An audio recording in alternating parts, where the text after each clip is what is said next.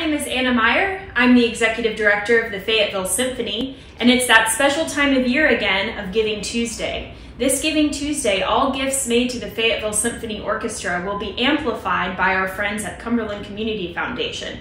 This is an excellent time of year to give because your gift will go even further. This year, gifts made to the Giving Tuesday campaign will benefit our education programs and our free admission community concerts. It's important to us to keep our programs accessible to all, and with your support, we can do just that. Keep watching to learn more about these excellent programs from friends around the community, and thanks for watching and your continued support. My name is Jair Escalona. I am a proud parent of a member of the Fayetteville Symphony Youth Orchestra. Uh, this is our second time joining um, the orchestra, in uh, it only happened through the support of every sponsor, every person that is going to be that is being able to give or to contribute with this program.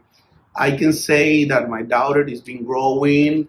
Uh, she's been learning and uh, she's been like experiencing a good time as a musician.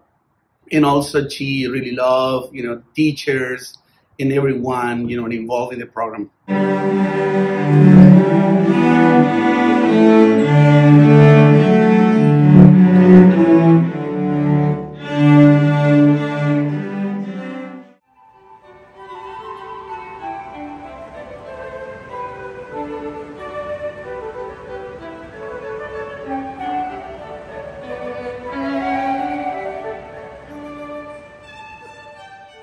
Hey guys, Tito here with uh, Dirtbag Ales. Um, this year we've been fortunate enough to be able to host a variety of different events with the uh, Fayetteville Symphony Orchestra here at the brewery and also at our craft cocktail bar. Um, I think it's a great asset for us here because it, it allows a lot of folks that maybe have not been to the symphony or visited the symphony here in the area to actually experience it and then the different varieties of music that that also entails.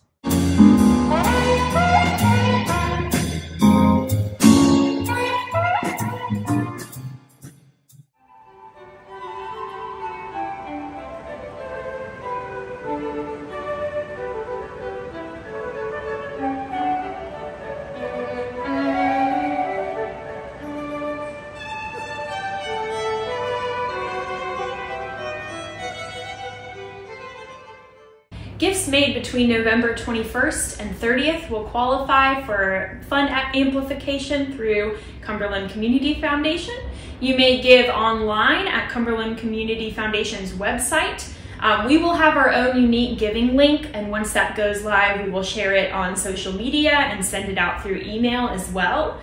You can give by check. Um, the check does need to be made out to CCF with Giving Tuesday Fayetteville Symphony in the memo line. And the checks do need to be dated and received in that November 21st to 30th um, time period. You can mail the checks directly to CCF or drop them off at their office. You can also give through um, donor advised funds, charitable IRA rollovers, stock gifts. If you want any more information about that, please contact either the CCF staff or the Fayetteville Symphony staff. We are always happy to help and can answer any questions you may have. Thanks again for your generosity.